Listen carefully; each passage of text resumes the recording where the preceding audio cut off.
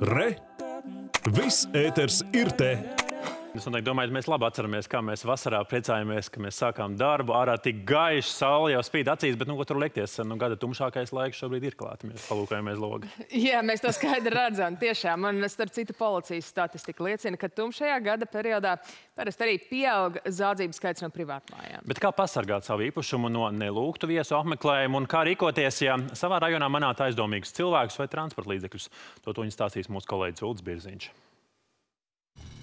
Lai gan zādzību skaitam no mājokļiem Latvijā pēdējo gadu laikā ir tendence samazināties, tomēr salīdzinot ar vasaras mēnešiem, tumšajā gada periodā privātmāju apzakšana parasti pieaug.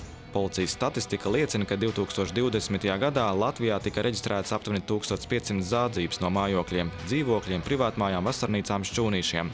Lielākā daļa noziegumu veikt Rīgā un Pierīgā. Pašiem jārūpējas par savu uh, īpašumu. Jā, tad, tad aizlikt durvis, uh, jo 40% no, visā, no visiem gadījumiem ir uh, brīva piekļušana. Tātad aizmirstam aizslēgt durvis, uh, vārtiņus. Tāpat garanžiem nesagādā nekādas problēmas iekļūšana mājoklī pa atvērtu logu. Uzmanību jāpievērš arī sava īpašuma durvju drošībai. Tad, kad uh, atstāja atslēgu slēdzenē, īpaši uh, zirnekļu tipa slēdzenēs, jā, tad, tad uh, noziedznieki var atmūķēt ar, ar, ar savām, uh, nu, ar savām, savām tādām ierīcēm, kā saka, uh, atvert durvis ar jūsu pašu atslēgu. Tā tad uh, ņem, aizslēdzam durvis un izņemam atslēgu. Nereti zagļu tumas aizsargi izmanto savā labā, lai bez atsliecniekiem izdarītu noziegumu, tāpēc ir vērts pievērst uzmanību ar apgaismojumam. Ja mājas priekš un pagalms arī tumsā būs izgaismots, tad tas varētu daļu no ļaundariem atbaidīt.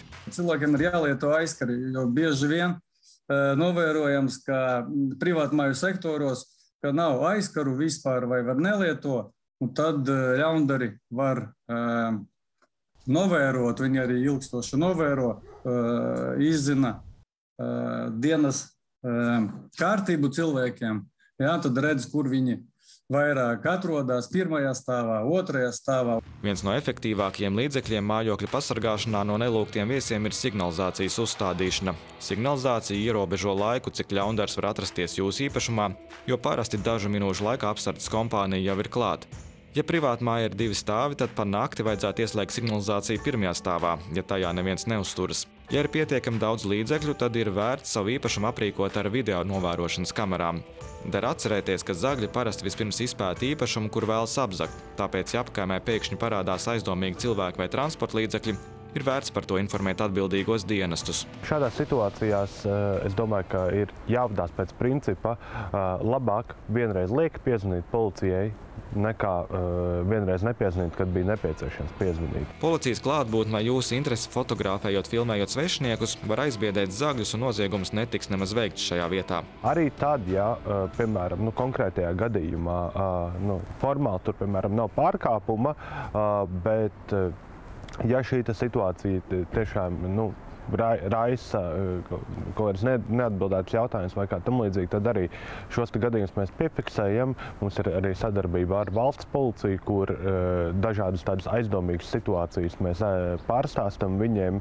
Un, un, un vēlāk, ja, piemēram, apkaimē parādās kaut kādas zādzības no mājokļiem vai kā tam līdzīgi, ir jau kaut kādi izaisa punkti, pie kuriem sākt strādāt. Arī suņa klātbūtne daļu no garnažiem var atturēt no viesošanās jūsu īpašumā. Visefektīvāk labāk būtu, ja sētā uzturas lielais suns, bet mājas iekšienē ir vēl viens.